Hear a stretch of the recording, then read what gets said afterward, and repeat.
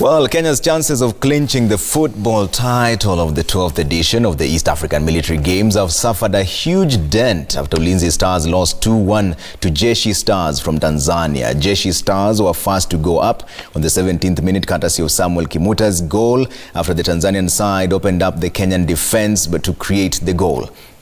Kenya's Boniface Onyango equalized for the home side on the hour mark after numerous failed attempts. 15 minutes later, Tanzania were up once again and Ulinzi Stars could not salvage a draw despite mounting heavy pressure on the visitors. Kenya will play the last game of the tournament on Friday against Rwanda.